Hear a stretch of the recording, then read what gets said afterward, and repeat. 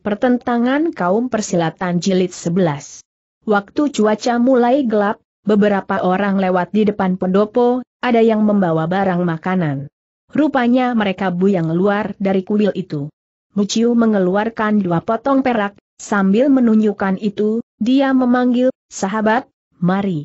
Aku terkurung di sini, apa kau bisa tolongi aku membawakan kabar?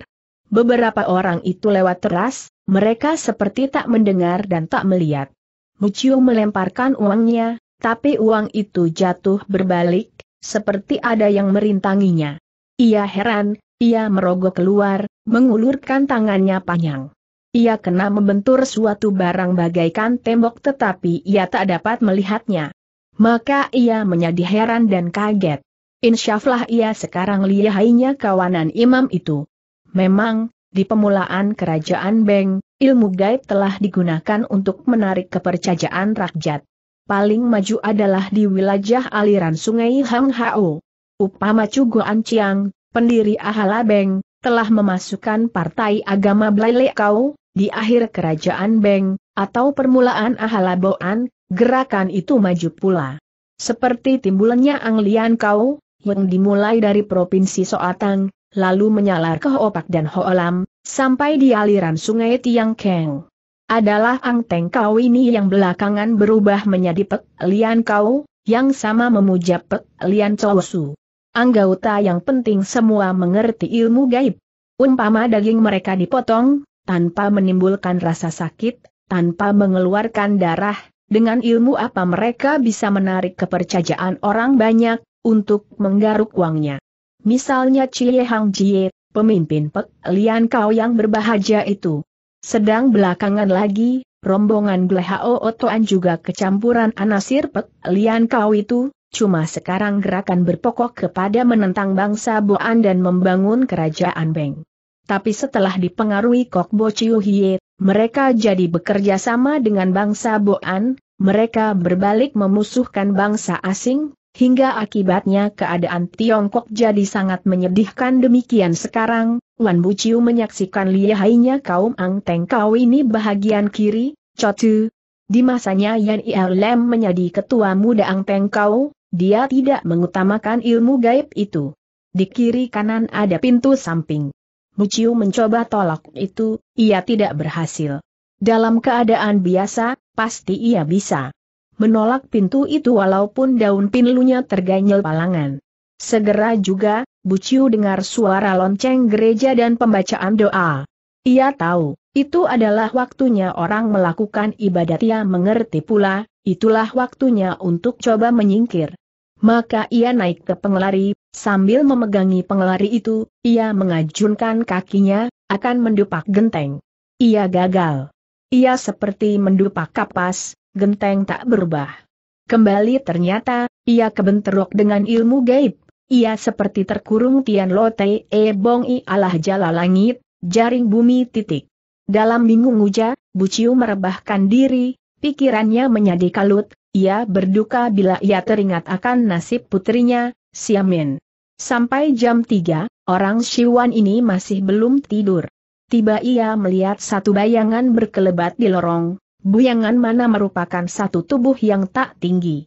Di lain saat, ia tampak tegas satu nyonya tua mendekam di pojok tembok. Dari gerakan nyonya itu, ia menduga kepada bukan musuh. Sebentar saja, nyonya itu kelihatan mengeluarkan dua lembar kertas dari sakunya yang selembar, ia cantel di kondenya yang lainnya, ia pegangi terus. Dengan hati ia bertindak ke arah orang yang dikurung itu. Kertas itu ditempelnya lepat di pimu nyata itu adalah selembar kertas kuning, ialahu, surat jimat, setelah itu segera ia menyempok pintu. Muciu menyaksikan kekuatan tangannya si nyonya, sebab jeruji besi terpatahkan. Lantas nyonya itu memasuki tangannya untuk menggape. Muciu mengerti. Tanpa bilang suatu apa, ia bertindak menghampirkan, akan terus loncat, molos di antaru jeruji itu. Sinyonya tetap tidak buka suaranya KOO yang di pintu, ia ambil kembali, dan ditempelkan di kepala orang yang ia tolongi, yang ia terus tuntun, untuk diajak loncat melewati pendopo samping. Untuk kemudian berlalu dari In Leong Koan. mereka berlari terus sampai terang tanah, hingga mereka sudah melalui kota Leiciu seratus li lebih. Di sini barulah mereka berhenti berlari. Muciu merasa lelah, hingga ia merebahkan diri di bawah sebuah pohon. Sinyonya tua mencabut kondenya hingga terlihatlah kepalanya yang licin, sebab ia adalah satu Nieko, pendeta wanita. Wan Kongcu, masihkah kau mengenali Pin Nie tanyanya? Bukan main girangnya Buciu apabila ia sudah melihat tegas Nieko itu, ialah Nieko yang ia justru lagi cari ia lantas berlutut di depan Nieko itu, untuk Pai Kui. Oh Sutai ia berseru. Bangun, Kongcu, berkata si pendeta wanita, yang cengin adanya. Di sini bukan tempat untuk menyalankan adat istiadat, kita justru harus damaikan soal menolongi putrimu. Muciu berbangkit. Aku mengerti, Sutai, katanya. Oleh karena keduanya sudah lapar, Cheng In mengajak lebih dulu untuk cari rumah makan di mana mereka bisa duduk bersantap. Di antara Cheng In dan Wan Buciu, keadaan rada ruwet. Cheng In adalah muridnya Uyebwe Kiai Su. Dan Buciu, sejak umur beberapa tahun, sudah dirawat dan dididik Uyebwe Kiai Su itu adalah setelah Ajah dan Ibu Buciu dibokong Tia Chie Sian Liok Hang, baru dia dititipkan padopoan Liong Tai Hiap, untuk diserahkan pada Ong Wei Yang dan Liok Goan Hoa, untuk dididik lebih jauh. Muciu belajar silat pada Wei Yang sampai kemudian di Provinsi Sucoan, dia bertemu dengan Butim Tojin. Maka itu, mereka berdua sebenarnya seimbang derajatnya. Tapi Siam Min puterinya Bu Chiu adalah muridnya Cheng En. Bu Chiu pun lebih muda 20 tahun daripada Nia Kou itu. Maka dalam derajat, tetap Bu Chiu yang terlebih muda. Tapi Cheng En indahkan kehormatan kaum rimba persilatan, ia tidak mau merusak aturan, maka itu, ia memanggil Kong Chu pada Bu Chiu. Cheng En meninggalkan Tan Wem lebih dahulu daripada Bu Chiu, mengapa ia sekarang ternyata terlambat? itulah ada sebabnya. Bukan main gusarnya Cheng In waktu ia menerima surat pemeresan dari Biao Hoat Cingin. Ia benci iman itu, yang melukai persahabatan, ia pun jemu untuk perbuatan rendah orang itu, menculik dan memeras, memeras orang sesama kaum. Sebenarnya ia ingin segera sampai di Leiciu, untuk membunuh iman itu. Tapi ia sudah berusia lanjut, ia pun ada satu pendeta, ia bisa mengendalikan diri. Di samping itu ia tahu, sebagai kunsu, penasihat. Kedudukan Biao Hoat berimbang dengan kedudukannya Yan Lelem dulu. Dalam ilmu silat, Biao Hoat tidak lihai, tetapi dia mengerti ilmu gaib. Maka, untuk bekerja, Cheng In tidak mau sembrono. Demikian, sesampainya ia di Lai Chiu, ia mondok di sebuah kelenteng, dari mana ia mencari tahu dulu halnya ketua Ang Teng Kau itu. Tidak demikian dengan Wan Buciu yang lantas langsung menyatron.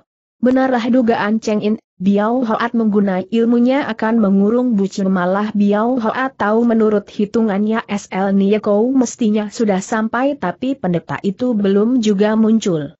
Karena itu ia lantas mengatur penyengaannya ia hanya tidak menyangka, Buciulah yang masuk perangkap. Cheng In juga benaku hati sekali supaya Biao Hoat tidak mengenali dia dia beli konde palsu, untuk menyamar. Dia kenal baik In Hang Koan, yang sekarang telah berubah tidak sedikit. Dia menuju ke belakang sebab di depan ada dipasang Hian Lote Ebong. Di sini ia memasuki sebuah pintu kecil tanpa rintangan. Dia kagum bila dia dapat cium bau semerbak dari bunga melati dan anggrek tercampur jadi satu di akhiran. Tidak selanjutnya kedua rupa bunga berada di situ. Melati mesti berada di tiang keng dan anggrek di kongki yang juga hawa udara telah berubah menjadi panas. Terang perubahan hawa itu ada perbuatannya Biao Hoat. Maju lebih jauh, Cheng In melihat sebuah pintu model bulan dengan tulisan empat huruf, Hang Le Sian Keng, yang berarti tempat dewa. Di situ ada ranggon dengan apinya terang. Dari mana terdengar suara tetabuan? bercampur suara tertawa yang gembira. Dia lantas menghampirkan kamar, untuk mengintai di jendela. Segera dia mendapatkan satu pemandangan yang menyemukan. Satu imam sedang dikerumuni belasan nona manis, dengan pakaian model kuno, indah dandanannya, centil kelakuannya. Cheng In tak ingin menyaksikan lebih jauh pemandangan buruk itu justru ia hendak mengundurkan diri, ia tampak pedang dan sebuah kantong kulit digantung dekat jendela. Ia tahu, itulah pedangnya si Iman dan kantong itu mesti memuat surat jimat. Tanpa sanksi lagi, ia mendekati pedang dan kantong itu, untuk segera disambar syukur si Iman tidak melihat perbuatannya itu. Kantong itu benar memuat rupahu. Untuk bisa menolongi Siamin, Cheng In meninggalkan ranggon tempat pelesiran itu. Sekarang ia tampak satu lonceng besar tinggi sependerian orang. Ia berani mengawasi lonceng itu hingga ia dawatkan tapak kaki. Ia pasang kupingnya di lantai, ia mengetok. Ia dengar suara kosong jadi di situ ada lubang dalam tanah. Karena tidak ada orang di situ, Cheng Ing menggeser lonceng itu, hingga ia menghadapi mulut sebuah lubang dari mana terlihat cahaya api suam ia mengambil selembar hu ia tempelkan di rambutnya, lalu ia turun undakan tangga. Beberapa kacung menanti di dalam lubang itu tapi mereka tidak melihat Cheng In. Teranglah itu ada khasiatnya hu itu.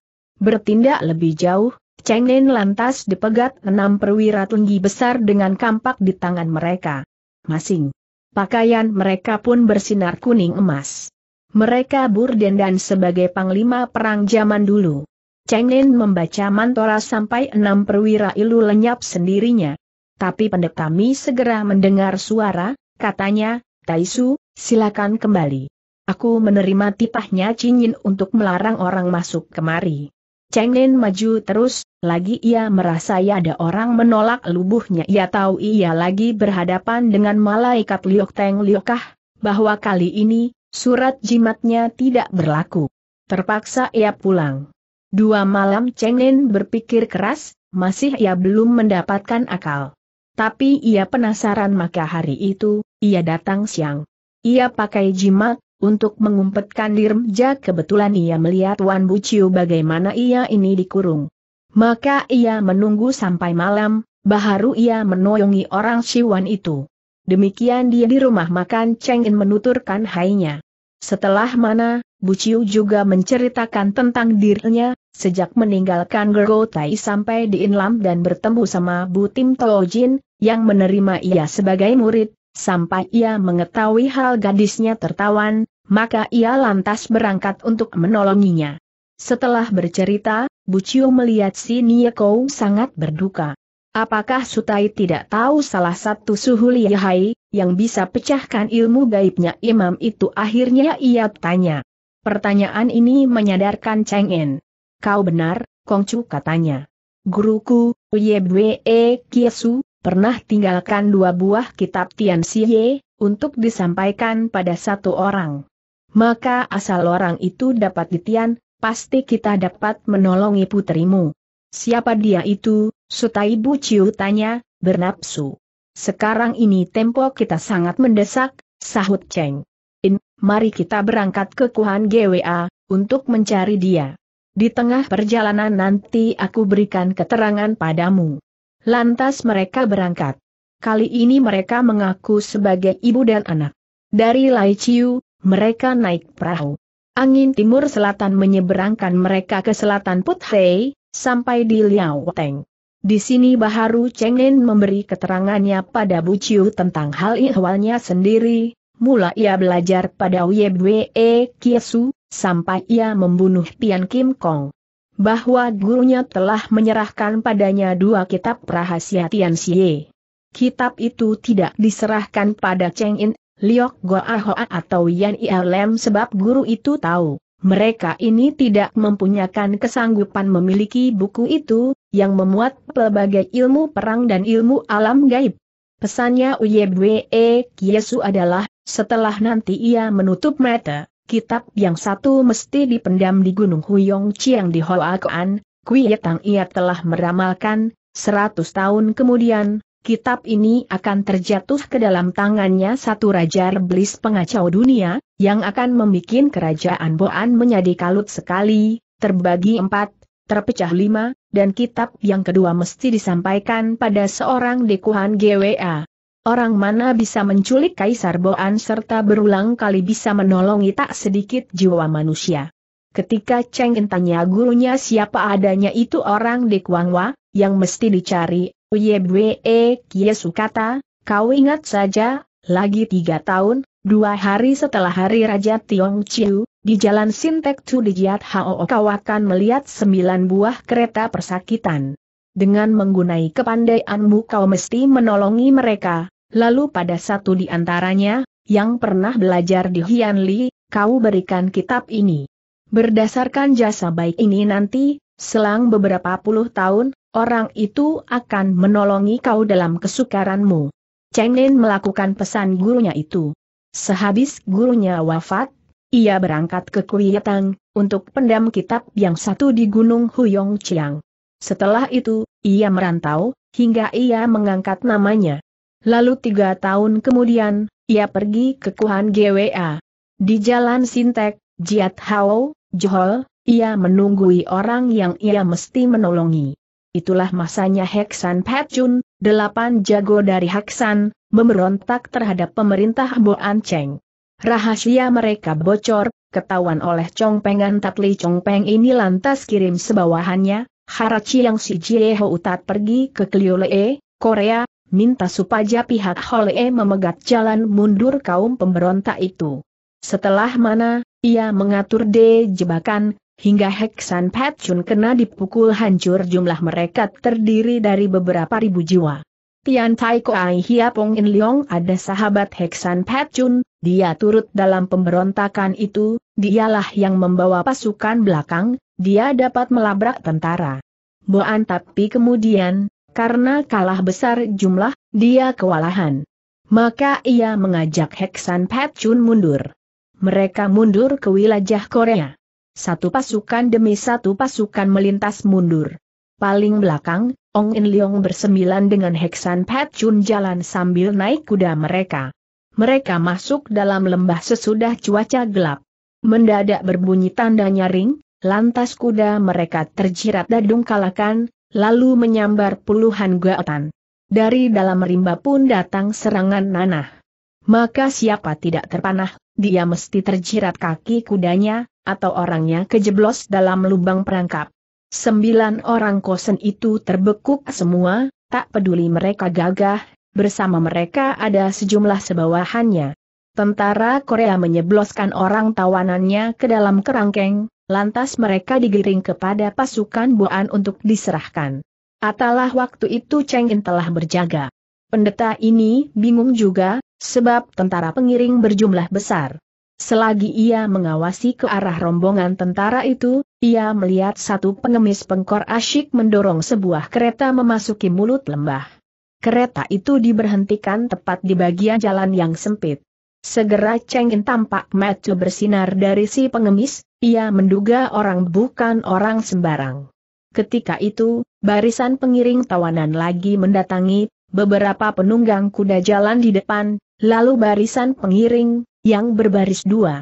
Sembilan kereta kerangkeng diiring barisan serdadu bertumbak panjang. Di belakang mereka itu, ada lagi barisan anak panah, yang dikepalai dua perwira. Melihat datangnya barisan serdadu, si pengemis menyalankan pula keretanya.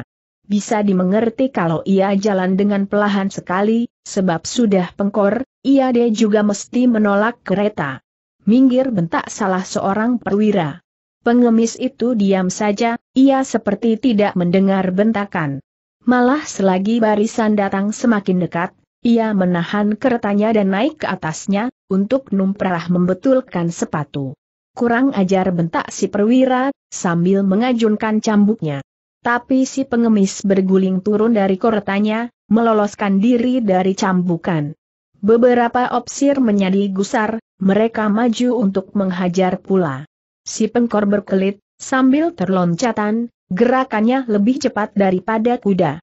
Sia-sia ia dikejar sampai sepuluh tumbak lebih, sehingga barisan serdadu tertinggal di belakang. Pasukan pengiring itu juga sudah lantas berhenti.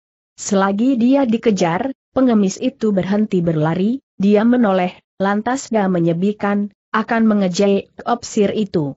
Begitu ia didekati, Selagi kuda loncat, ia menggulingkan tubuh, lewat di kolong kaki kuda. Setelah mana, ia kembali ke keretanya untuk didorong pula ke arah barisan serdadu. Beberapa puluh serdadu terdepan menjadi pusar, mereka pun maju, akan menghajar pengemis ini, tapi justru mereka datang dekat kereta, mendadakan kereta itu meledak. Kiranya kereta itu berisi bahan peledak. Kira-kira 50 serdadu terbinasa dalam sekejap. Beberapa opsir, yang tadi mengejar, menjadi kaget. Mereka lantas putar balik kuda mereka. Si pengemis tidak berhenti sampai di situ. Ia cabut sebuah pohon cemara di samping jalan, untuk digunai sebagai toja, akan menyapu Iain Serdadu. Di pihak lain, barisan yang mengiring kereta lantas maju, guna bantu mengepung. Cheng In melihat ketikanya. Ia loncat turun, sambil menghunus pedangnya, ia lari ke kereta kerangkeng. Sebentar saja, ia telah membabat putus rantai pintu kerangkeng. Di situ ada Tiat Kim Kong Tan Seng dan Hek Song Sin Linggo dari Hek San Pachun. Mereka ini menghajarkan rantai borgolan pada kereta, hingga putus. Bila mereka melihat pasukan di belakang lagi mendatangi, mereka menyumput kampak musuh, buat dipakai menyambut. Cheng Lin bekerja terus mendobrak satu demi satu kerangkeng persakitan, hingga setiap persakitannya, jaitu lagi enam anggota Heksan Pat Chun dan Ong In Leong bebas dari bahaja. Seperti Tan Seng dan Lingko, mereka ini juga menyambar senjata untuk membantu dua saudara mereka itu melabrak tentara negeri. Empat perwira yang bantu mengantar rombongan persakitan adalah pahlawan dan istana Jiat Hao Heng Kiong jaitu istana Kaisar Rijiato. Mereka repot melajani si pengemis pengkor seorang, maka mereka kaget bukan main menyaksikan juga si Nieko yang tidak dikenal, sedang mendobrak kerangkeng dan membebaskan setiap persakitan. Dalam keadaan hebat seperti itu dua pahlawan rubuh terbinasa maka dua yang lain, terpaksa angkat langkah seribu. Si pengemis tidak mengejarnya. Heksan Pat Chun dan Ong In Leong telah berhasil menumpas semua serdadu pengiring, lalu mereka menghampirkan si Nieko, yang lagi menyusuti pedangnya yang berlepotan darah. Si pengemis pengkor pun turut menghampir. Kapan Ong In Leong mengenali pengemis itu, ia memberi hormat sambil memanggil, suhu sebab si pengemis bukan lain daripada Ong Liak, yang menyamar. Sembilan jago itu tidak kenal Cheng In tapi mereka menghunyuk hormat mereka sambil menghaturkan terima kasih serta sekalian menanya si dan nama atau gelaran penolongnya itu. Cheng In memperkenalkan diri sambil memberitahukan kedatangannya itu atas titah suruhnya Uyebwe Kiesu. Semua orang berterima kasih dan kagum. Mereka memang pernah mendengar nama Niekowi ini. Baharu hari ini mereka dapat melihat orangnya serta bisa belajar kenal juga dengannya. Cheng In mengajak semua orang itu menyingkir, karena tempat itu bukan tempat pasang ngomong. Dia khawatir nanti au abala bantuan musuh yang datang. Benar kata Ong In Leong beramai setelah mana, mereka merampas kuda untuk dipakai kabur, ke utara. Tetapi di tengah jalan, mereka berpisahan.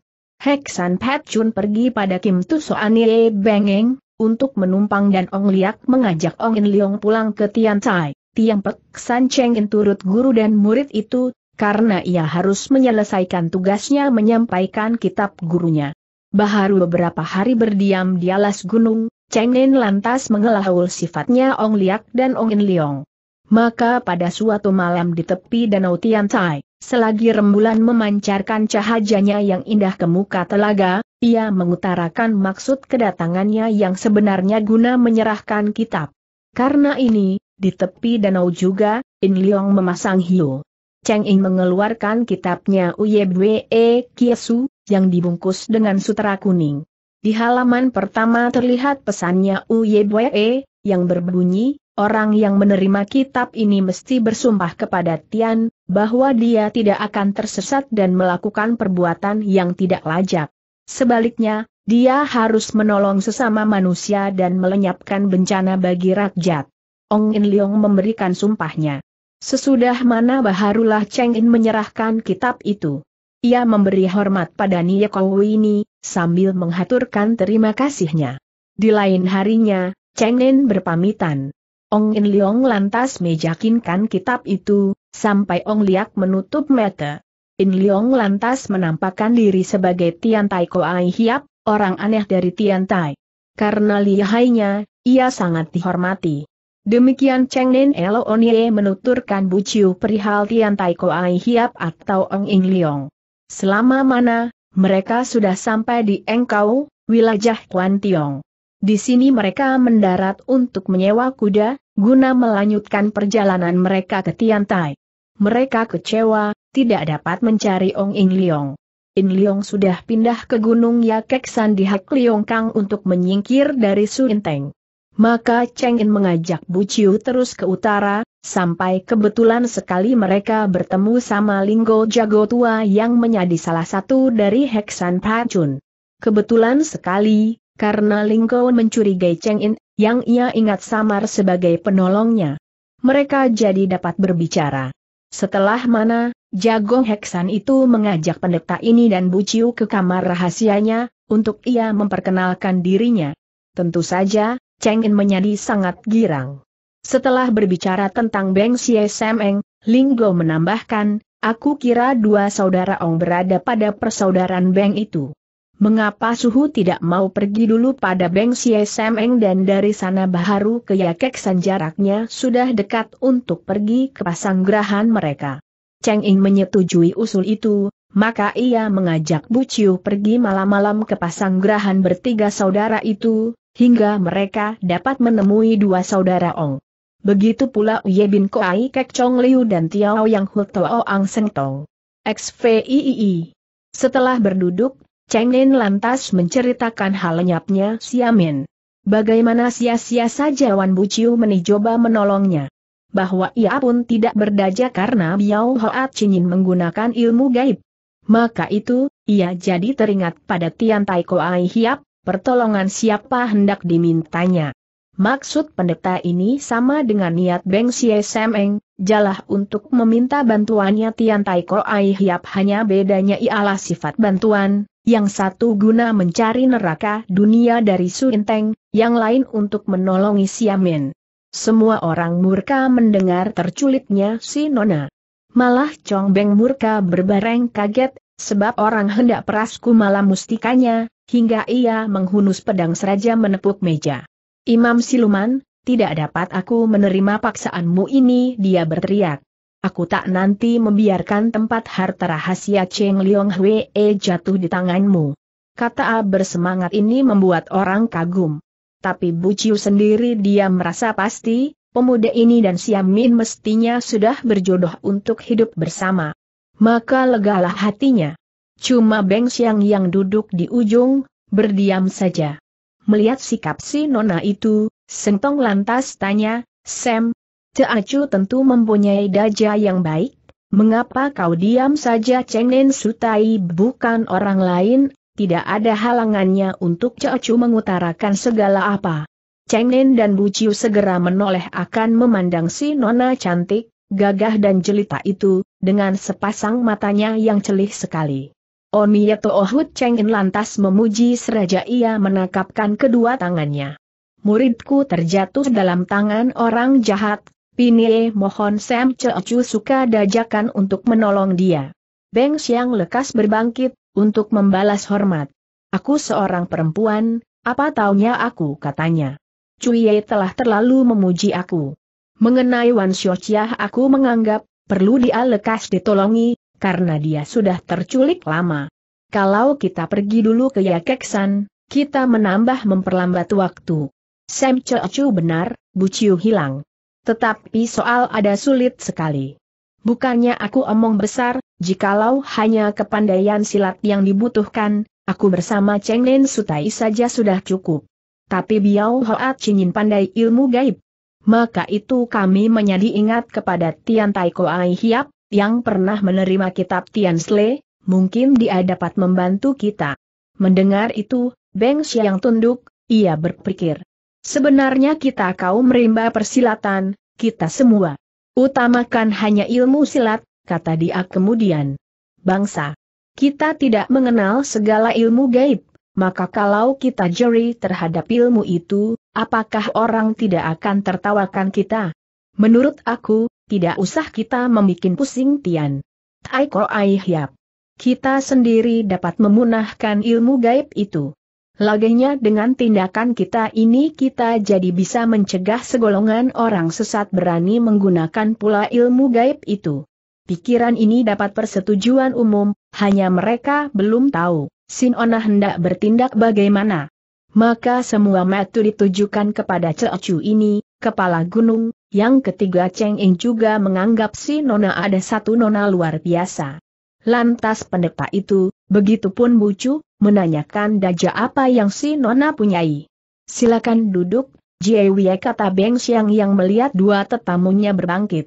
Barusan Ong Kong Chu bilang hendak pergi ke Soatang untuk mencari kau Chu dari Ang Teng Kau, Itulah karang tepat, kata si Nona. Urusan ini tidak dapat dilawan dengan menuruti hawa amarah. Di mana Buges saja tidak bisa diandalkan untuk melawan ilmu gaib.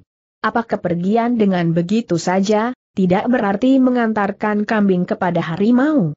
Semua orang berdiam, tidak terkecuali Chong Beng, yang menyesal sudah terburu nafsu mengeluarkan katanya tadi. Ia percaya Siang Kiam Hang mesti mempunyai daja, Lantas ia menyuruh kepada si Nona.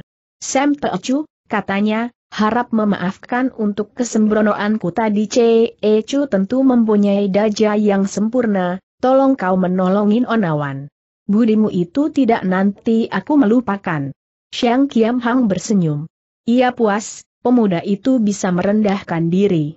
Lo Chiam Poe, ia berkata pada Cheng In, aku ada mempunyai saran untuk coba menolongin Onawan.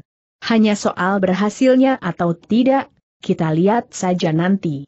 Terutama untuk membasmi kaum Ang Teng Kau itu, itulah bergantung kepada Lo Chiam Poe sendiri. Aku pun bekas anggota kaum itu, maka aku tahu, di dalam kalangan mereka tak sedikit orang yang sadar, berkata Cheng En. Lagi pula bukanlah jalan yang tepat untuk memusuhkan mereka semua, selagi sekarang mereka sudah tersebar luas sekali. Memusuhkan mereka semua berarti menanam bencana untuk di belakang hari. Sikapku sekarang adalah menolongi saja si Min, sebab sebagai seorang yang telah mensucikan diri, tidak ingin aku mengundang ancaman bencana. Benar sekali apa yang Lo Chiam Poe katakan, kata dia. Untuk menyalankan dajaku ini, aku minta kedua Ong Kong Chu serta Wan Xian Seng berangkat lebih dahulu, lalu dua hari kemudian, Lo Chiam Poe pergi menyusul. Tindakan ini untuk mencegah Biao Hoa Yin bersiap sedia. Sekarang aku lagi memikirkan satu orang, yang bisa pergi bersama nanti, maka malam itu, mereka semua beristirahat. Kecuali Chong Beng, yang satu malaman terus tidak bisa tidur sekejap Jun. Di depan matanya selalu terbayang Siam Min sedang bersengsara. Besoknya, Beng Xiang bangun pagi sekali, Terus ia mengirim orang ke Kim Chiu akan mencari orang yang ia nuturkan. Siapa sebenarnya bukan orang Kang Ou kesohor, hanya seorang Kang Ou biasa saja yang biasa. Hidup dengan mengandali kepandaian mulutnya saja, namanya Heng Xiang. Dia itu tidak dipanggil datang, hanya disuruh menantikan mereka di Kim Chiu. Pada waktu tengah hari, Tok Kak Liong Bengkong mengadakan perjamuan untuk memberi selamat jalan pada semua sahabatnya. Beng yang menuturkan rencananya, sesudah satu A menyuruh semua pelajannya pergi. Ang Seng Tong dan Chong Liu adalah orang cerdas, dengan lantas mereka memuji rencana Nona ini. Sehabis mengeringkan beberapa cangkir, Beng yang mengeluarkan barang yang ia telah siapkan dan menyerahkan itu pada Chong Beng. Buat si orang Ong ini simpan dalam kantongnya. Sebentar kemudian, semua orang telah pergi keluar pasanggrahan di mana sudah disiapkan kuda untuk mereka. Masih Beng Siang membekalkan sepucuk surat pada Chong Beng, pada siapa ia pesan, untuk di Kim Chiu nanti menggabungkan diri dengan Peng Siang. Cheng Elo Onye juga memberikan Chong Beng peta dari Kuilin Hang Koan berikut alat rahasianya seperti lobang jebakan dan lainnya, supaya anak muda ini bisa berlaku waspada. Demikian bertiga Chun Beng, Chong Beng dan Wan Buciu berangkat. Sementara itu Biao Hoat Cinyin sibuk karena Bu Ciu telah lenyap. Segera ia dapat mengetahui pula surat jimatnya pun telah lenyap. Baharu hatinya lega juga. Apabila ia dapat kenyataan. Siamin tidak lenyap bersama tak tahu bahwa ia telah didatangi orang pandai. Wan Siamin telah dikurung di dayam kamar dalam tanah, yang lubangnya berada di bawah perapian tank yang besar ia tetap masih di bawah mengaruh surat jimat hingga ia tak sadar akan dirinya. Untuk makan minumnya empat kacung diwajibkan medajaninya. Untuk penyagaan Biao Hoat pakai tenaganya malaikat Lo Teng Liokah. Sekalipun si kacung buat bisa masuk ke dalam kamar, mesti membakar surat jimat dahulu. Aku kira bocah Siong itu akan segera datang kemari kata Biao Hoat pada Tiang Hoat sehabis Nia mereka melihat Siamin. Muciu telah datang, ia sekarang ianyap, pasti dia pergi ke Ngotai akan mencari dua saudara Ong itu, guna minta kumala, untuk dipakai menebus. Jangan terlalu gembira, suhu, kata Tiang Hoat mereka punya orang berilmu juga. Lihat saja bagaimana mereka telah bisa mencuri surat jimat. Kalau mereka datang pula, mungkin bukannya untuk menebus. Jari juga Biao Hoat tetapi, di depan muridnya itu ia tidak mau perlihatkan kelemahan hatinya itu, maka ia tertawa. Mereka cuma pandai bersilat, apa mereka bisa buat menghendapi ilmu gaibku katanya tidak nanti mereka bisa lolos. Setelah itu, Ketua Ang Tengkau ini pergi pula pelesiran dengan sekalian Sian Kou atau dewinya. Sejak itu, setengah bulan telah lewat dengan tenang. Kuilin Hang Koan itu adalah satu kuil tua sebab didirikan ja sejak Ahalas Song. Nama asalnya Hui In Koan, Banaru belakangan diganti menjadi In Hang Koan. Letaknya di atas puncak Hui In Hang di Bukit Hui In NLM di Layak Utara, Soatang bukit itu berada dalam daerah Lei Chiu, menghadapkan laut timur. Macamnya mirip sebuah kursi. Kata ahli bumi, bukit itu bisa mengeluarkan suatu raja, maka Song telah mendirikan kuil itu suatu kiasan untuk mencegah keluarnya raja. Itu di bawah bukit pun telah dibangun satu kuil lain dengan nama serupa, guna memudahkan orang yang berziarah. Karena ini kedua kuil itu disebut si Koan dan Hei E Koan Jaitu, kuil atas dan bawah. Di masa hidupnya Tei E Hoan ketua pertama dari Ang Teng Kau, dia berhubungan dengan beberapa ahli silat Tong Long Kun dari Soatang. Waktu salah satu imam telah memilih Hang Koan sebagai markas besar, yang mana berjalan sampai pada Biao Hoat Chinyin. Dan baharulah memakai nama In Hang Koan. Di situ dipuja Pek Chow Wasu, dan patung yang lama, Giok Cheng Chin Kun, ditaruh di kuil bawah. Selama kira-kira dua tahun kuil itu telah ditambah di sana-sini hingga menjadi lebih luas dan megah. Sebaliknya kuil bawah telah disia-siakan. Sebab mendakinya sukar, cuma orang tengkau yang bisa mendatangi atas itu. Di kuil bawah, cuma dua pendopo depan dan belakang, yang masih utuh patcoknya Giok Cheng Chin Kun dirawat oleh dua imam kuil bawah ini sudah tidak ada penduduk yang datangi lagi. Dua malam itu Itcoan dan Pengcoan namanya.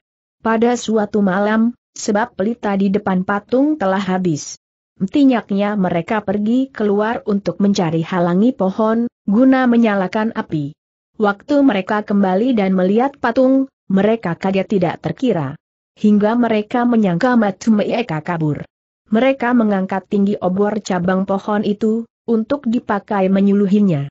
Ternyata patung Giok Cheng Chin Kun seperti telah berganti rupa. Rambutnya yang digulung telah dipakaikan tusuk konde kumala. Wajahnya bercahaya dan jubahnya bersulamkan benang emas. Peng, kau lihat, aneh tidak kata Rit Choan. Apakah Chin Kun telah Hian Leng, Hlan Leng memperlihatkan keangkeran. Peng Choan meraba-raba jubah mentereng itu. Sudah belasan tahun, belum pernah Chin Kun memperlihatkan kenyataan apa katanya. Mungkin ini karena perbuatan Chow Suya. Pengcoan itulah panggilan tiba, maka si imam kaget tak terkira. Ia cuma mendengar suara dari arah patung. Icoan. Pengcoan kamu berlutut kembali terdengar suara itu. Kamu dengar perkataan penyin. Kembali kedua imam terkejut, tetapi mereka mengawasi. mereka seperti melihat Chin Kun manggut. Dengan kesusu, mereka lantas bertekuk lutut. Kamu berdua dengar, demikian suara itu pula. Aku Giok Cheng Bie Biao Tutek Chin Kun. Biao Hoat Cinin telah meniadakan aku, maka sekarang aku datang pula. Pergi kamu mengumumkan kepada mereka yang tadinya memuja aku, supaya mereka datang padaku. Aku hendak berbicara dengan mereka itu. Aku tahu, kamu berdua sangat bersengsara, maka sekarang pergi ke belakang, di pohon bambu, di sana ada sebungkus perak hancur. Kamu boleh ambil dan pakai sesu kamu. Dua imam itu tidak berani mengangkat kepala. Tiba pendopo menjadi gelap, lantas ada api menghembus ke atas. Walaupun mereka kaget, kedua imam toh menyalakan obor mereka. Lantas mereka menjadi heran. Patung mentereng dari Giok Cheng Chin Kun telah pergi entah ke mana yang ada hanya patung lama yang sudah rusak dan buruk. Sutue, Benar Chin Kun Hian Leng, kata Choan. Kita memang sangat sengsara, mari kita pergi ke belakang, akan melihat uang yang disebutkan itu, benar ada atau tidak. Pengcoan menurut, ia membawa obornya. Berdua mereka pergi ke pohon bambu di belakang kuil. Untuk kegirangan mereka, mereka mendapatkan bungkusan perak bancur yang disebutkan. Maka tebalah kepercayaan mereka. Besoknya mereka pergi membuat pengumuman sebagaimana dititahkan Chin Kun. Dalam tempo pendek, warta lantas tersiar luas. Baharu setengah hari, sudah beberapa ratus orang, yang datang ke kuil bawah, untuk menyaksikan Giok Cheng Chin Kun memperlihatkan diri. It Choan dan Peng Choan membuka pintu kuil. Mereka mengajak semua orang pergi ke pendopo. Mereka menyalakan pelita, untuk disorotkan tinggi. Mereka jadi sangat kagum menampak patung indah seperti kemarinnya. Maka tidaklah heran kalau semua penduduk juga heran dan kagum seperti mereka berdua. Beberapa orang, yang tadinya menyangsikan Itcoan dan Pengcoan, batal menuduh mereka berdua berbuat curang. Setelah mereka memperhatikan jubahnya Chin Kun, yang berharga sedikitnya 100 tel. Sebab penyaga kuil itu niscaya tidak mampu membeli itu, Andai kata keduanya berniat mengelabui orang banyak. Selagi orang terkagum-kagum itu, tiba terdengar suara tetabuan, yang datangnya seperti dari tengah udara, makin lama, suaranya makin tegas, hingga datangnya seperti dari wuungan kuil. Semua arung dongak, akan tetapi mereka tidak melihat sesuatu apa. Di saat seperti itu, semua orang niscaya bisa melibat segala apa dengan nyata. Segera juga mereka mendengar suara, seperti suara burung. Disusui dengan katanya satu wanita tua, Chin Kun datang dengan menunggang burung Hong. Belum berhenti suara si orang tua itu, dari Sin Ham pun terdengar suara, hingga semua orang lantas pada berlutut. Suara dari Sin Ham itu mengatakan bagus kamu telah datang hari ini Pinto O turun ke bumi ini untuk menitahkan kamu memberitahu pada Biao Hoat Chu, mengapa dia telah mengurung kuilin Hang Kuan serta menitahkan malaikat Liok Teng Liokah menyaganya sampai pelian. Chow Su sendiri tak dapat memasuki kuil itu. Kasih tahu bahwa sebentar malam Pinto O hendak mengajak dia pergi ke Giok Cheng Kiong, atau nanti ancaman bencana datang padanya setelah itu, nusap putih menghembus dari dalam pendopo. Lalu terdengar pula suara burung yang aneh tadi, disusul sama suara ulabuan, yang lenyap lahan. Tandanya CLN Kun telah pergi. Baharu sesudah itu, orang berani berbangkit dan mengangkat kepala mereka. Di antara orang banyak itu ada muridnya Biao Hoat Cinin mereka ini lalu diajak It Choan dan Peng Choan pergi ke kuil atas untuk menemui Biao Hoat. Imam mana sudah lantas duduk di kursi kebesarannya di dalam pendopo, Tiang Hoat dan Lan Bin mendampinginya di kiri dan kanan kemudian ia pimpin semua pengikutnya menyalankan kehormatan kepada Pek Lian Chow Wisu dan Ang Teng, pelita merah. Selesai upacara, Ed Choan dan Peng Chun menuturkan apa yang telah terjadi di kuil bawah tadi. Keterangan mereka dikuatkan oleh sekalian pengikut. Biao Hoat heran cuma beberapa murid yang mengetahui ia menggunai lemunya mengurung kuil itu ia tidak dapat curigai Ed Choan dan Peng Choan. Karenanya ia mau percaya benar Giok Chok Chin Kun, yang tidak senang, sudah memperlihatkan diri. Biarlah aku lihat sebentar malam, akhirnya ia berpikir. Terus ia menyuruh Tiang Hoat dan Lan Bin mengajak It Choan dan Peng Tioan pergi menyelidiki ke kuil bawah. Sudah lama Tiang Hoat dan Lan Bin tidak pernah menengok Hui In Koan bawah. Sesampainya mereka di kuil itu, benar mereka tampak patung Chin Kun sudah serba baru. Tiang Hoat berpengalaman, ia menyalankan kehormatan, terus ia menyeluhi, dengan dinyalakan terang, hingga ia mendapatkan jubah yang mahal. Patung, tetap patung yang lama yang lain tidak ada yang mencurigai. Maka ia mengajak Lan Bin pulang, memberikan laporan kepada ketua mereka.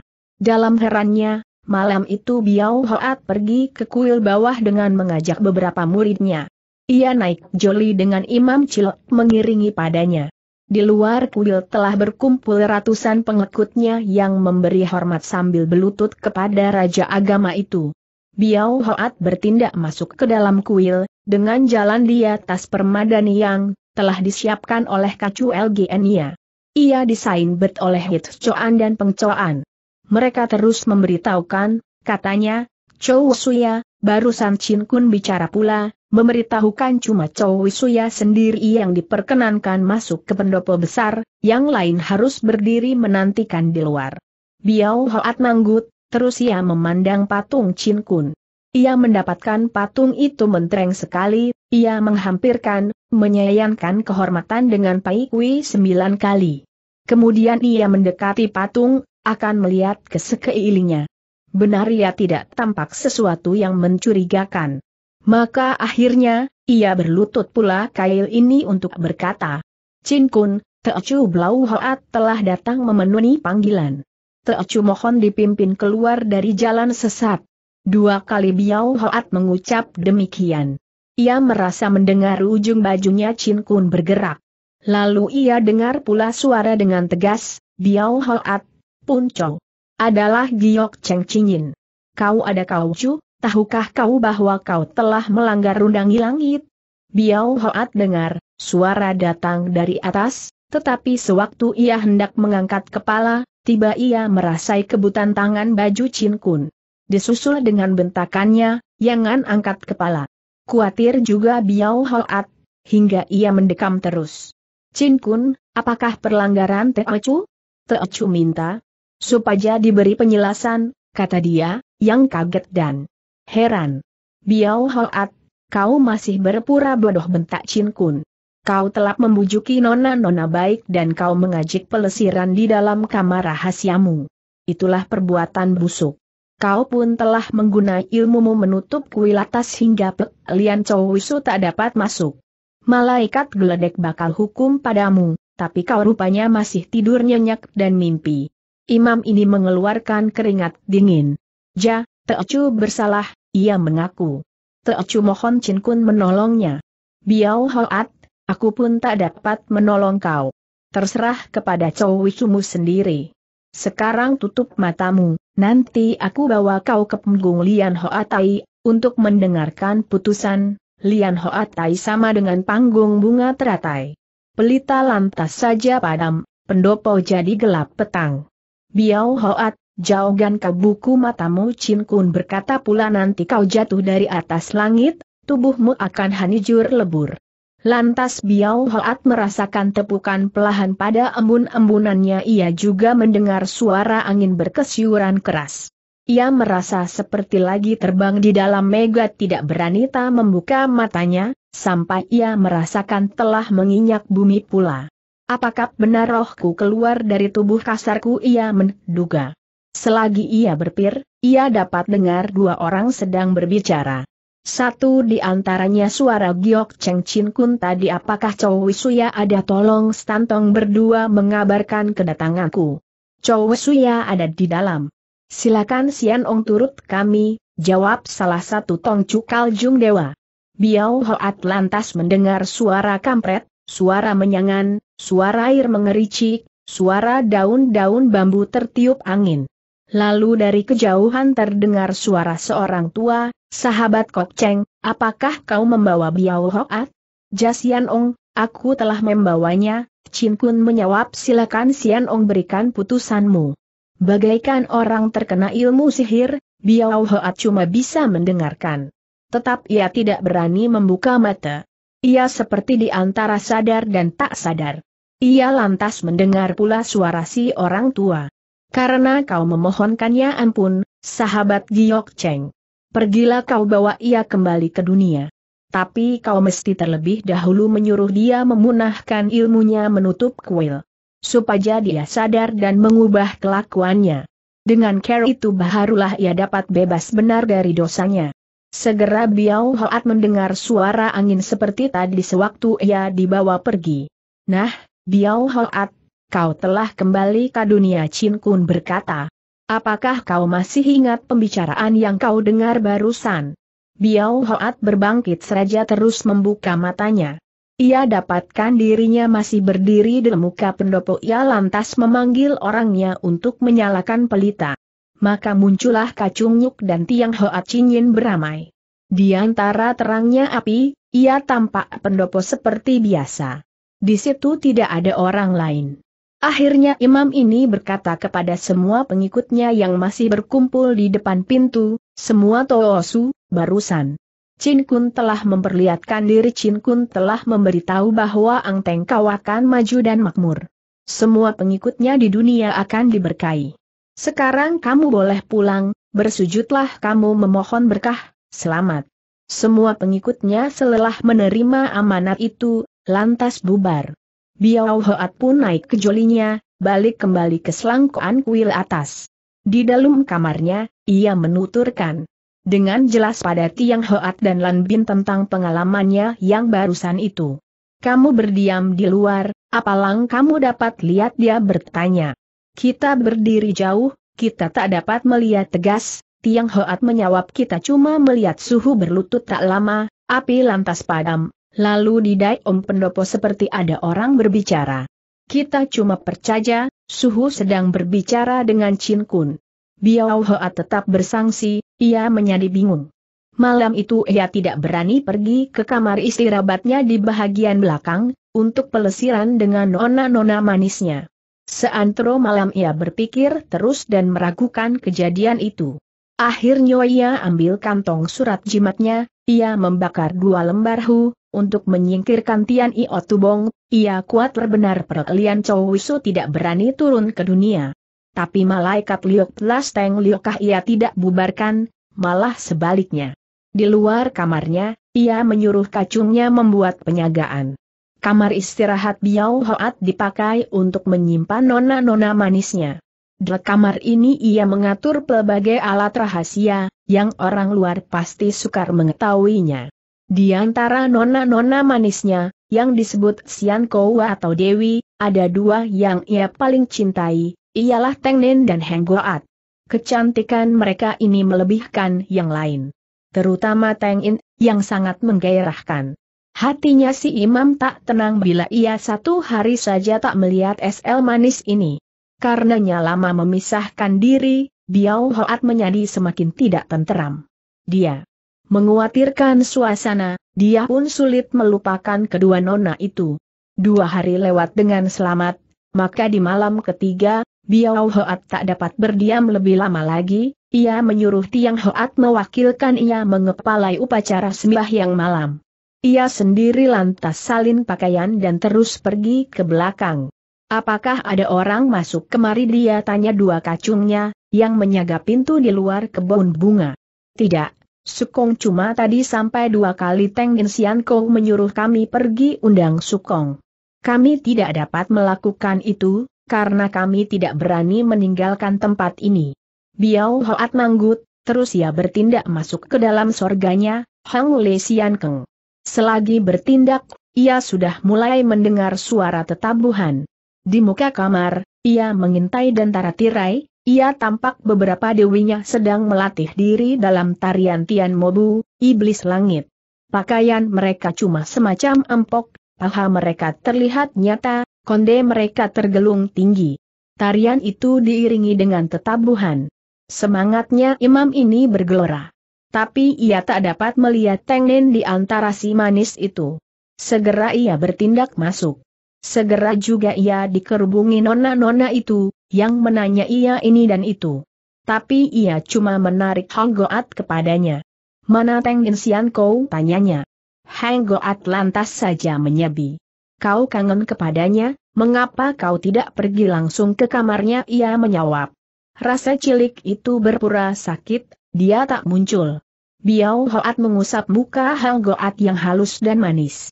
Di antara kamu, Siapa yang aku tak membuat kangen katanya sambil tertawa. Asal kamu semua setiap hari berada di hadapanku, pasti aku merasa senang. Selelah itu, ia bertindak keluar, buat pergi ke kamar si Dewi pujaannya. Untuk ini, ia mesti melalui jalan yang berliku. Di depan kamar Teng In, dengan pelahan ia menolak daun pintu dan bertindak masuk dengan hati. Kamar itu indah dan terawat rapi. Teng Nin Sian Ia memanggil Teng Nin Slan Kou. Dari dalam pembaringan terdengar jawaban pelahan, siapa? Hatinya Biao Hoat goncang. Ia menghampirkan pembaringan. Di dalam mana antara kelambu, ia tampak satu bayangan tabuh lagi rebah. Di muka pembaringan ada sepasang sepatu. Bau wangi keluar dari pembaringan itu. Biao Hoat tak tahan lagi, karena goncangan hatinya. Ia segera mengulur kedua tangannya, untuk menyingkap kelambu, dengan niat segera merangkul si nona berbareng dengan tersingkapnya kelambu ke kiri dan kanan, dari dalam pembaringan muncul sebilah tangan yang menyekal sapu tangan. Sapu tangan mana terus dibekapkan ke hidung imam ini. Biaurat terperanyat. Selagi ia menyerit, hidungnya pun menyedot napas, hingga sekejap saju, ia tak menyadarkan diri tubuhnya rubuh di atas permadani di muka pembaringan. Seorang muda umur 20 lebih lantas muncul. Romanya gagah. Dia masih menggunakan sapu tangannya, akan membekap terus hidung si imam. Menyusul itu, dari bawah pembaringan merajap keluar dua orang. Mereka mengawasi tubuh si imam, lantas mereka menggerakkan tangan mereka. Sesudah mana yang satu terus mengangkat tubuh Biao Hoat, untuk dipanggul, buat dibawa pergi dari kamar itu. Kawannya, begitupun si anak muda, turut berlalu. Dengan cepat mereka keluar dari kamar surganya Biao Hoat itu. Mereka mengambil jalan di antara pohon bambu di samping gunungan hingga mereka keluar dari kebun. Di muka kebun, kedua kacung masih tetap melakukan tugasnya membuat penyagaan. Mereka bercakap dengan pedung menggoblok di bebokong masing.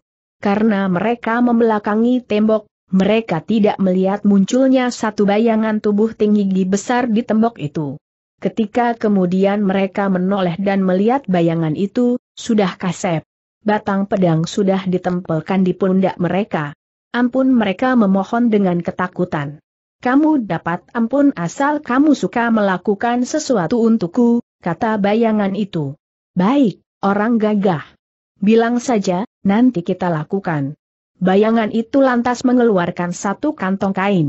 Melihat mana, kedua kacung itu mengenali kantong hu dari cowisu mereka.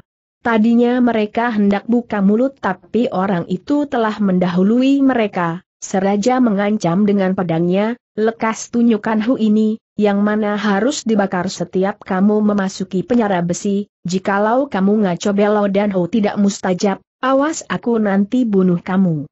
Kedua kacung itu ketakutan sebab berbareng pundak mereka merasai tekanan barang dingin, yaitu ujung pedang. Maka mereka tunjuki hau yang diminta itu. Setelah itu, tangan mereka dibelenggu, mulut mereka disumpal.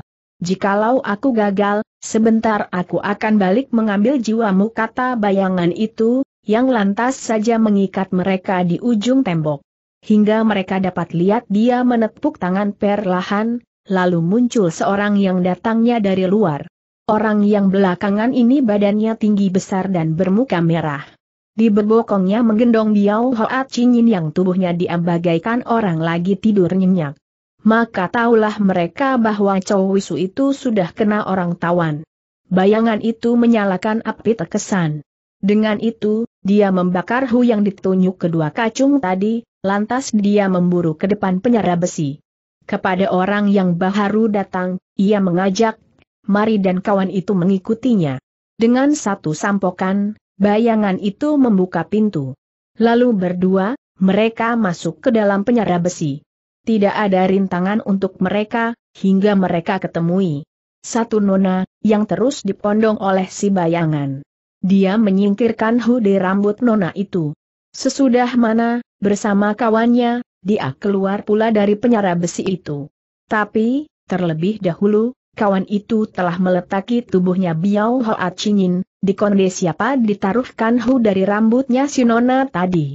Sebentar saja, pintu sudah dikunci pula, mereka pun pergi menyingkir. Itulah Chong Beng dan Bu Chiu yang datang menolongi Siamin. Mereka datang bersama Feng Xiang dan Chun Beng Feng Xiang adalah orang yang mulutnya lihai itu, selagi dia mengunyukan kepandaiannya, Chun Beng menyaga di luar. Mereka ini datang dengan bertindak menuruti rencananya Beng Xiang. Ternyata mereka berhasil. Feng Xiang mendekam di wuwungan, di situ ia perdengarkan suara, yang bisa berlainan. Dialah yang memainkan peranan akan mengabui Yet Choan dan yang lainnya yang bicara di Sinham adalah Chong Beng, yang mengumpetkan diri yang menyamar sebagai Giok Cheng Chin Kun adalah Bu Chiu. Di dalam gelap, mereka bisa bekerja dengan baik. Adalah Chong Beng yang menggeser patung Chin Kun selama saat Bu Chiu menggantikannya.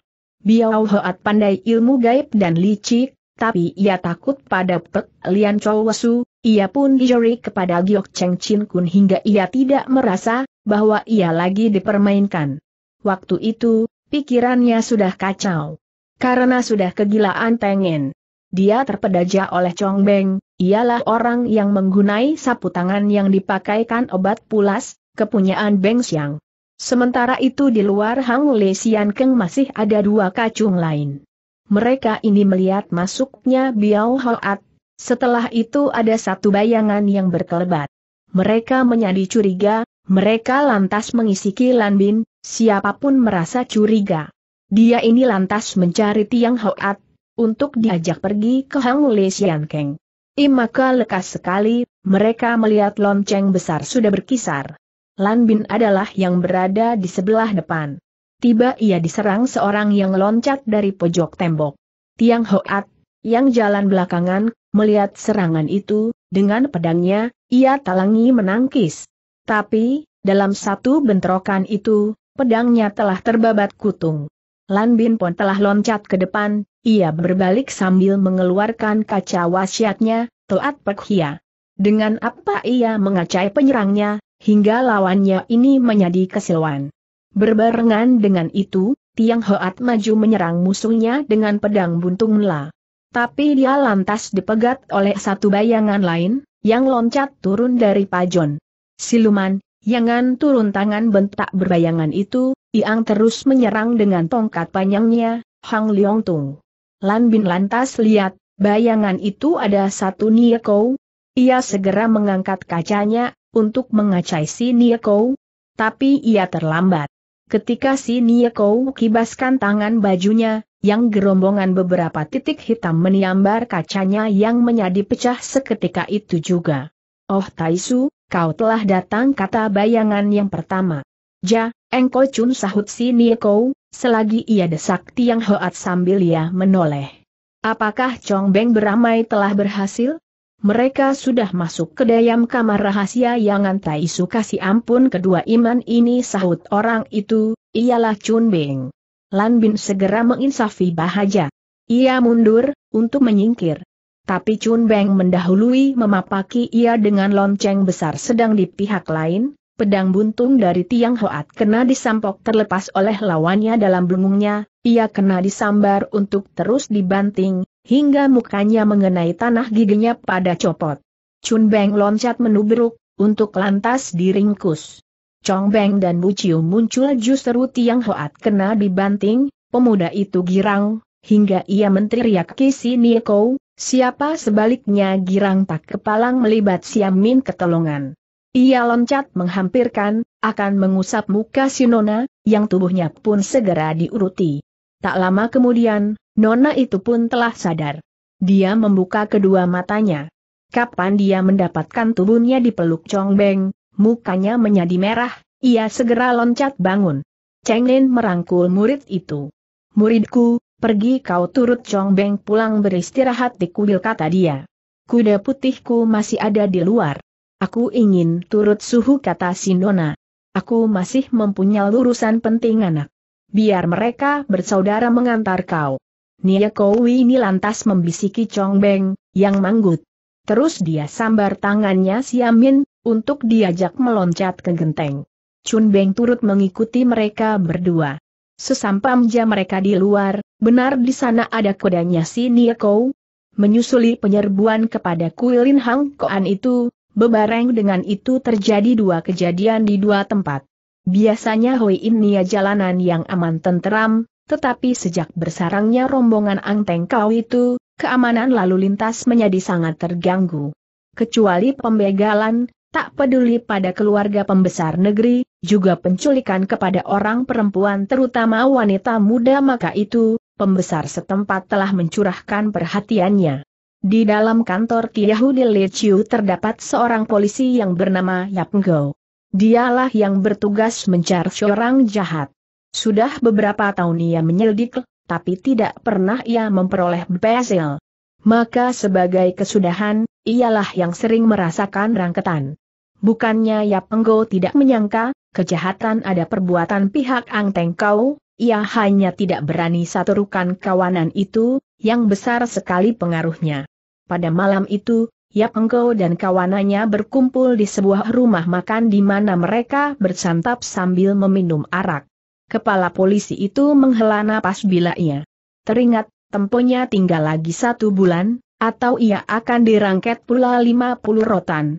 Engkongke, bukankah kau yang bilang kejahat tahu diperbuat oleh pihak Ang Teng kau kata satu kawannya.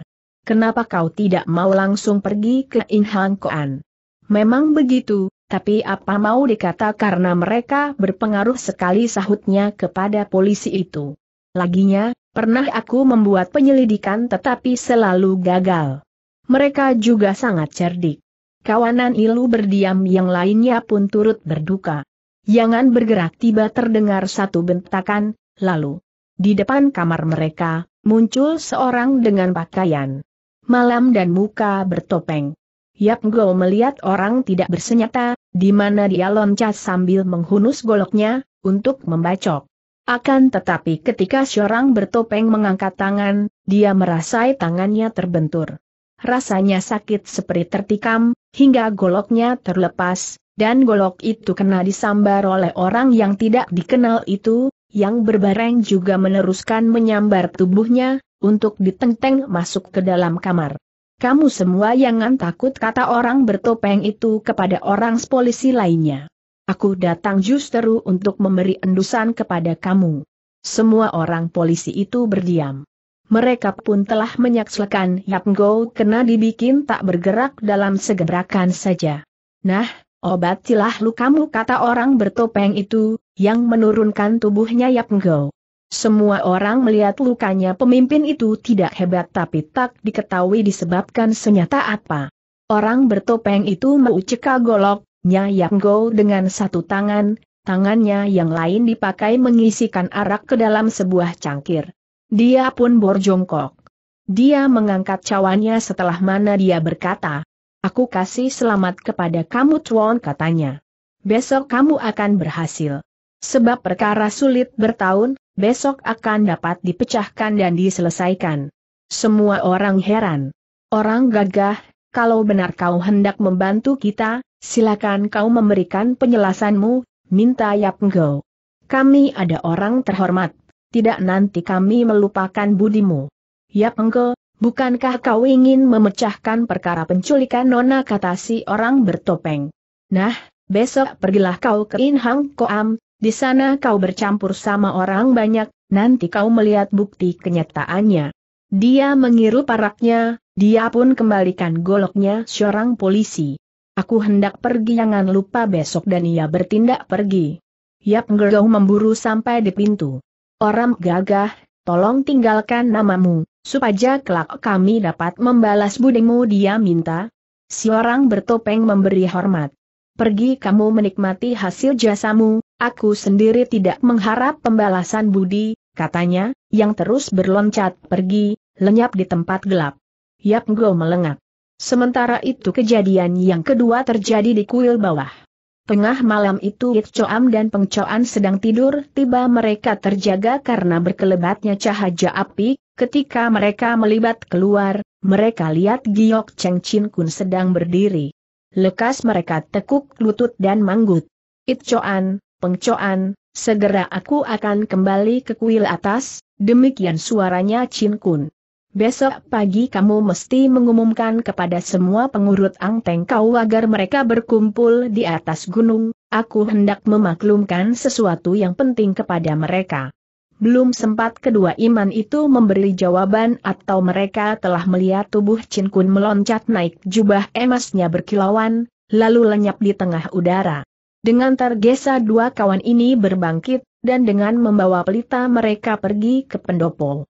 Untuk keheranan mereka, mereka tak dapatkan patung Chin Kun pada tempatnya lagi. Karena ini, mereka tidak berani tidur lagi. Begitu Fajar menyingsing, mereka lari turun gunung. Mereka memberitahukan siapa saja yang mereka ketemukan, agar semua orang lantas berkumpul di kuil atas. Seperti biasa, kabar aneh mudah tersiar juga kali ini, belum sampai setengah hari, penduduk Lai Chiu seperti telah pindah ke In Hang Koan. Di dalam kuil benar telah terjadi satu hal yang aneh. Ketika pagi beberapa imam pergi ke pendopo, mereka heran bukan main, sebab di sebelah Pek Lian Chow Wisu telah bertambah patungnya Giok Cheng Chin Kun. Dan danannya patung suci ini sama seperti yang kemarin mereka menyaksikan di kuil bawah. Mereka heran, lalu mereka lari mencari Tiang Hoat Chinglen. Tetapi murid Biao Hoat ini, begitupun Lan Bin Cinyin tidak ada. Malah segera ternyata, kedua kacungnya juga turut lenyap. Mereka menjadi bertambah heran. Hal ini mesti diberitahukan kepada Chow Wisu kata beberapa orang. Akan tetapi tiada seorang yang berani pergi memasuki Hang Lei Sian Keng. Karena untuk itu mereka membutuhkan perkenan dari Chow Wisu mereka, Biao Hoat Cinyin. Ketika itu, banyak pengikut Ang Teng Kau telah memasuki kuil. Apabila mereka menyaksikan patung Giok Cheng Chin Kun ada di sebelah patung Pek Lian Chow Wasu, mereka memberi hormat sambil berlutut. Di dalam kalangan Ang Teng Kau kecuali Tiang Hoat dan Lan Bin, ada belasan iman sebawahannya yang membantu pegang pimpinan. Mereka inilah yang menjadi sangat bingung. Sebab mereka tidak berani memberikan keterangan, ketika banyak pengikut yang menanyakan Wisu mereka.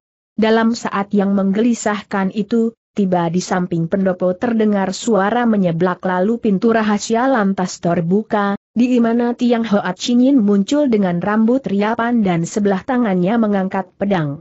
Tanpa merasa, semua pengikut bersorak kegirangan. Tiang Hoat berdiri di ambang pintu tanpa bergerak. Wajahnya suram. Dia mengangkat kedua tangannya menunjuk pada pelita merah yang tergantung sambil dia berseru, Ang Teng lampu merah menyorot tinggi. Semua pengikut mengangkat tangan mereka seraja turut menyerukan serupa. Gemuruh sebentar, lantas sirap pula. Dalam kesunyian itu, terdengar suaranya Tiang Hoat, Saudara, hari ini Pek Lian Chow Wisu dan Giok Cheng Chin Kun turun ke bumi, kamu dengarlah amanat beliau, nah, Berlututlah kamu semua menyambut Chow Wisuyo dan Chin Kun. Semua orang lantas berlutut dan tunduk. Semua tidak berani mengangkat kepala meski samar melihat bayangan jubah putih. Orang tidak usah menanti lama, segera terdengar suara Giok Cheng Chin Kop. Katanya, semua pengikut Ang Teng Kau, dengarlah kamu. Hari ini aku datang ke sini untuk mengumumkan kepada kamu perbuatannya Biao Hoat Chinyin, yang sudah menyalahi kesucian agama. Jaitu dia sudah menyembunyikan banyak wanita, yang dia ajak pelesiran. Sudah begitu, dia juga lancang menitah malaikat Engko Lui dan Liok Teng Liokah. Maka aku telah mengurung dia di dalam penyerah dalam tanah. Tiang Hoat dan Lan Bin juga turut berbuat jahat mereka telah membuat pelbagai pesawat rahasia di dalam kuil ini dan sudah menganiaya bocah untuk diambil langgaut rahasianya, maka mereka juga mesti turut dihukum. Lan Bin sudah dikurung di dalam ionceng besar. Tiang Hoat mesti memegang pimpinan di sini. Dosanya juga kurangan, Dia sekarang berada di sini, untuk membeber kejahatannya. Kamu semua boleh mengangkat kepala kamu.